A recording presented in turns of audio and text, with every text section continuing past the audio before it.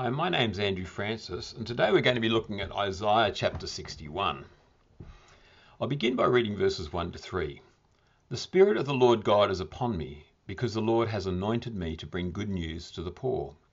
He has sent me to bind up the broken-hearted, to proclaim liberty to the captives, and the opening of the prison to those who are bound, to proclaim the year of the Lord's favour and the day of the vengeance of our God, to comfort all who mourn, to grant to those who mourn in Zion, to give them a beautiful headdress instead of ashes, the oil of gladness instead of mourning, the garment of praise instead of a faint spirit, that they may be called oaks of righteousness, the planting of the Lord, that he may be glorified.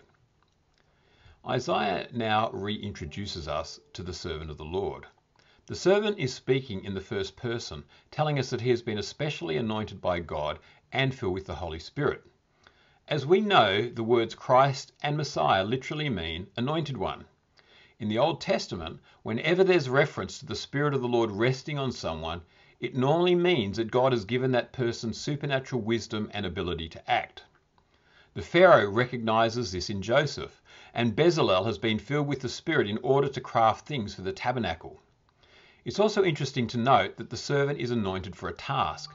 The task, according to verse 1, is so he can be sent to bring good news to the poor. The rest of the verses, 1 to 3, describe who these poor are. In this passage, the poor isn't simply speaking of those who are financially poor, but anyone who is distressed and in trouble for any reason. In other words, the message of good news is a message that will only speak to those who recognize their desperation, their poverty, or their need for whatever reason. Like the story of the tax collector in the temple, who lamented his failure before God compared to the Pharisee who was only aware of how good he was. It was the tax collector whose needs were met whose prayer was answered. As we see in the ministry of Jesus, the servant's message is also accompanied by action. He will bring good news to the poor, and he will also bind up the broken-hearted. He will proclaim liberty to the captives, and also open prison doors to those who are bound. As God's chosen servant and the one through whom God will bring about his salvation, he can also declare the year of God's favour. Our sins have been paid for, the wrath of God has been averted, and we now live with assurance that God smiles upon us as his beloved children. In the previous chapter, bronze becomes gold and iron becomes silver. Now, in this chapter, ashes become a beautiful headdress, Mourning becomes the oil of gladness, and a faint spirit becomes a garment of praise. Just as everything in God's city will be transformed into something beautiful, so too everything in God's people will also be changed. I remember one day when Grandpa Bob and I went to the gay bar in the city to hold our Bible study, we bumped into a man there that we knew. He was a very rich man who had made his money through gambling on horse races. He'd shown little interest in the gospel message. On this day, however, he was very upset because his mother, who he loved very dearly, had just passed away. His heart was heavy with grief and sorrow. I asked him if he would mind if we prayed for him. He agreed, and so Bob and I prayed for this man, and as we prayed, his whole countenance changed. He explained that somehow the weight of his grief had been removed, and now he felt light in his heart. He rang up his sister to tell her what had happened to him. God had done a miracle in this broken man's heart. Like Zacchaeus, he was a sinful man who was in no ways deserving of God's mercy, but for whatever reason, God saw him and through two of his servants showed his love for him. This surely was a sign pointing to the kingdom that God has inaugurated through God's holy servant, Jesus.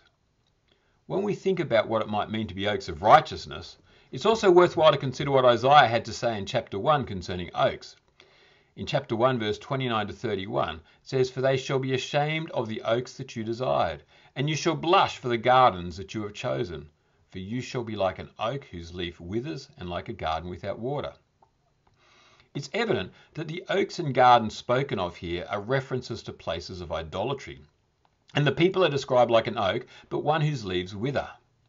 Now, because of the sovereign work of God, these people, these people's lives spoken of in Isaiah 61 will have been so transformed that they will become strong and secure, living lives exhibiting God's righteous character and bringing glory to God. When people seek to glorify themselves, it ends up in limp leaves. When people accept God's will through his servant, they become all that God intends and he is glorified. Let's read verses 4 to 7. They shall build up the ancient ruins, they shall raise up the former devastations, they shall repair the ruined cities, the devastations of many generations. Strangers shall stand and tend your flocks, foreigners shall be your ploughmen and vine dressers, but you shall be called the priests of the Lord. They shall speak of you as the ministers of our God. You shall eat the wealth of the nations, and in their glory you shall boast. Instead of your shame, there shall be a double portion. Instead of dishonour, they shall rejoice in their lot. Therefore, in their land they shall possess a double portion, they shall have everlasting joy. Just as the poor and the imprisoned will be set free, and just as the mourning will be filled with praise and thanksgiving, so too will the ruined cities and places also be transformed. As God's people are changed, as they are transformed, everything they touch is also changed and transformed. This is why the whole of creation groans to the revelation of the sons of God. As you and I are transformed from one degree of glory to the next by looking into the face of our Messiah, so too are people and places by coming into contact with us. As I used to often explain to people, wherever we go as God's children, so too does God's Spirit go as well. Whether I go into a gay bar or my wife into a brothel, the light and holiness of the Spirit of God also goes with us, bringing light and holiness into places where sin and darkness seem to abound. In 1 John 4, verse 4, it says this Little children, you are from God and have overcome them, for he who is in you is greater than he who is in the world. 1 John 5, 4 to 5. For everyone who has been born of God overcomes the world, and this is the victory that has overcome the world, our faith. Who is it that overcomes the world except the one who believes that Jesus is the Son of God? And as we go as ministers of light, as priests joining in the intercession of Jesus for all people, we discover strangers and foreigners ministering to us and seeking to meet our needs. Sometimes in the bar, I would have gay men and women offering to buy me drinks or give me money for my ministry because they could see the light of Christ in me. We can think of the Philippian jailer in Acts chapter 16, ministering to the needs of Paul and Silas after God opened the prison doors for them. One who had previously been their tormentor and captor now becomes their willing servant. These stories are signs of the inbreaking kingdom. They point to the greater reality that we as believers look forward to. As we become witnesses for him and fulfill the call of God's people given through Abraham in Genesis 12, verses 2 to 3. And I will make of you a great nation, and I will bless you and make your name great, so that you'll be a blessing. I will bless those who bless you, and him who dishonors you I will curse. And in you all the families of the earth shall be blessed. When we go as God's witnesses in God's power, then we will experience blessings beyond imagination. But these blessings are not simply for our sakes and for an increase in our prosperity.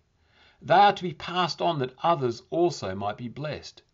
Our boast will be in their glory, in their blessing. This is the heart of a father. A true father does not desire so much that they themselves might be blessed, but rather that their children will be blessed. The church desperately needs more people with the heart of our Father. And so we read in Matthew 10, verse 29 to 31. Jesus said, Truly I say to you, there is no one who has left house, or brothers, or sisters, or mother, or father, or children, or lands, for my sake and for the gospel, who will not receive a hundredfold now in this time houses and brothers and sisters and mothers and children and lands with persecutions, and in the age to come eternal life. But many who are first will be last, and the last first. It's important to also be aware of Jesus' words in Matthew 10, as in this age there is still an enormous cost to be paid, both up front in terms of what we have to leave behind, and also in terms of the sobering reward of persecutions. But as Jesus also makes clear, the difficulties will only continue in this present age. There's an age to come. And as Isaiah points to, the time will come when all shame will be removed and replaced with a double portion or the inheritance of an elder son. Dishonor will be turned into rejoicing over all that we have been given, and everlasting joy will be ours as we discover that our inheritance is twice what we might have lost. Again, I think of saints throughout the ages who have lost spouses, and children because of their decision to share the gospel in difficult places, even their own lives. The grief and pain experienced by some of these saints is hard to imagine. And yet the rewards are guaranteed to more than make up for the suffering and loss that these people went through. I'm reminded of the tragic story of Job, which ends in quite an Isaianic way. In chapter 42, verse 10, we read, And the Lord restored the fortunes of Job when he had prayed for his friends, and the Lord gave Job twice as much as he had before. And so we read our final few verses from 8 to 11. For I, the Lord, love justice. I hate robbery and wrong. I will faithfully give them their recompense, and I will make an everlasting covenant with them. Their offspring shall be known among the nations, and their descendants in the midst of the peoples. All who see them shall acknowledge them, that they are an offspring the Lord has blessed. I will greatly rejoice in the Lord. My soul shall exult in my God, for he has clothed me with the garments of salvation. He has covered me with the robe of righteousness, as a bridegroom decks himself like a priest with a beautiful headdress, and as a bride adorns herself with her jewels. For as the earth brings forth its sprouts, and as a garden causes what is sown in it to sprout up, so the Lord God will cause righteousness and praise to sprout up before all the nations. In verse 8, God reasserts his love for justice and his hatred of robbery. But in this context, it would seem that he's not making such statements to have a go at his people as we've seen in previous passages. Rather, it would seem that he is letting them know that he can never be accused of robbery and wrong in the way that he rewards his people. Rather, as he fulfills his covenant with them, the surrounding nations will be so impressed by what they see taking place amongst God's people that they will declare that these people are indeed blessed by the Lord. A story we heard recently regarding our friend Neil, a visiting American preacher, was of the time when he worked as a foreman in a logging factory. His boss was ordered before the company directors and told that he would be sacked if he couldn't find out why certain crews always had 10% greater outputs than others. The boss struggled to understand what it was that caused the differences because there didn't seem to be any common cause that he could find. The workers in the teams were often different, and so it couldn't be that. Eventually, he worked out that whenever Neil was a foreman, the output was greater. The boss was a believer and knew that Neil also was a believer. He discerned that this greater output was because of the hand of God on Neil's life and work. He fronted Neil with what he had found and explained that he had to sack Neil, otherwise he would lose his job. Whilst the eventual outcome in this story is not what we might want, nonetheless it's a story about God's evident blessing on his people that could be witnessed by others. I'm sure that many others have similar, similar stories that you could also share. In the final two verses, yet again, we see a shift in who is speaking. Now it's not the servant, or the prophet, or God. The people are rejoicing as God's bride. They have been clothed with garments of salvation. They couldn't save themselves. This had to be God's doing. Now, because God has saved them, God has empowered them with His Spirit, they can wear robes of righteousness.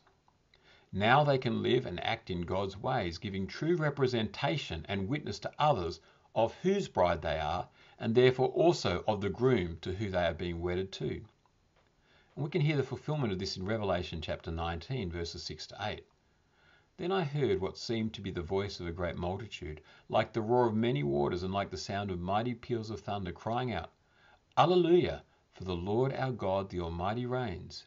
Let us rejoice and exult and give him the glory. For the marriage of the Lamb has come, and his bride has made herself ready.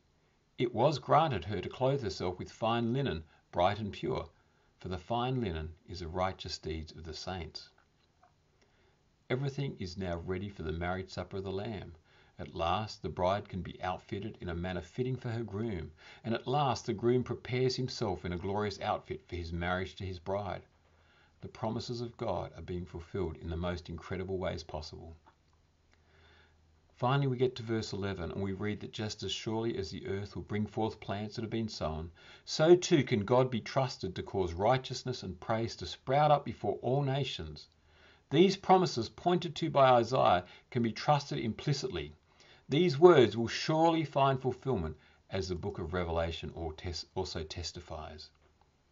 Brothers and sisters, be encouraged in the word of God. God has a plan for our lives beyond anything that we can imagine. And even if we have to go through great difficulties in this age, even if in our lives we go through times of great testing and hardship, we know that there is a reward beyond imagination that God has for his children. God bless you.